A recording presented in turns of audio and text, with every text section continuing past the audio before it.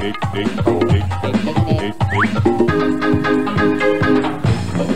everyone, welcome to this week's episode of the Nick Topic. This week uh, I'll be talking about Nickelodeon logo merchandise. The merchandise that's not any specific Nickelodeon show, just like regular merchandise that says Nickelodeon I think you know what I mean. They made a lot of this merchandise and I'm going to tell you some of what they made and then show pictures.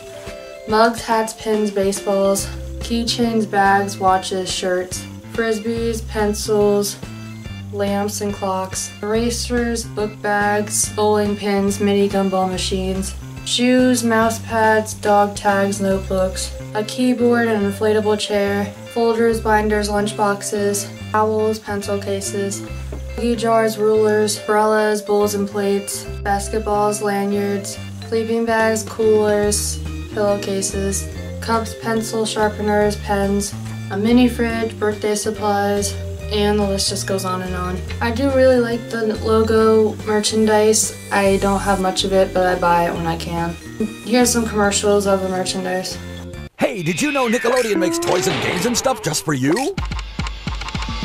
We've got Pink Love Blast Box, Puzzlers and gas! Clone Brain Bender and Prankster Pack. Videos! Party goods! Mud, Ghost Stretchy, Hog the Zog Law. Brain Ball Nick Fetch Magazine Flash Screen, Real monsters action! Board games and books for your mind satisfaction. Sneakers, t-shirts, games galore. computer stuff, video games, More and more.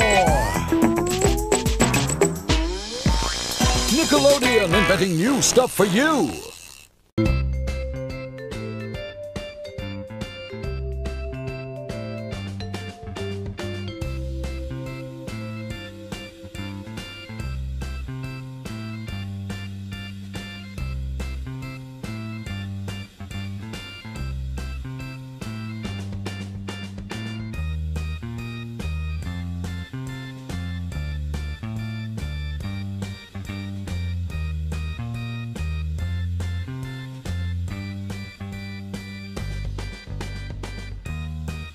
It's very hard to find this stuff. I do it, I try to find it all the time. And if you do find it, it's really expensive.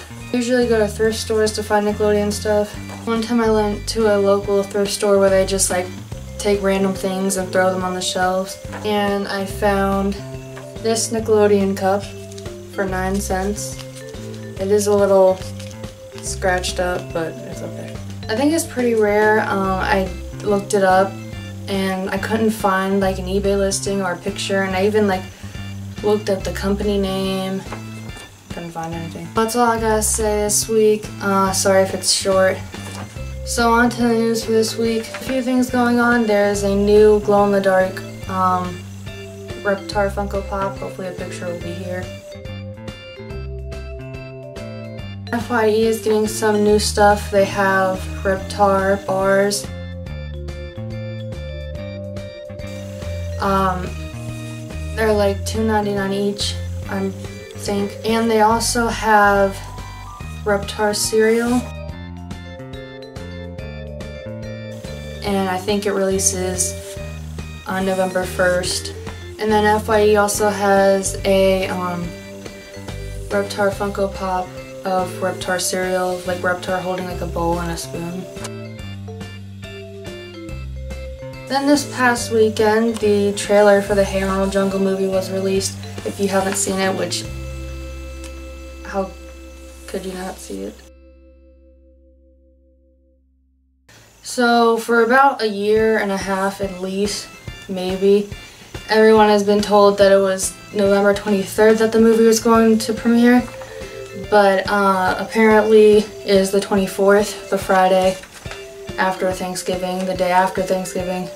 And it's going to air on like Nickelodeon, Teen Nick, and Nicktoons at the same time, I think. I could be wrong, but I'm pretty sure I saw that. And for those who like Cat Dog, I have a Cat Dog channel that has everything and anything Cat Dog, and the link is down in the description below. I hope you all enjoyed this week's episode of the Nick Topic. Make sure to tune next Saturday for when I talk about Nickelodeon short, purple and brown. Bye guys.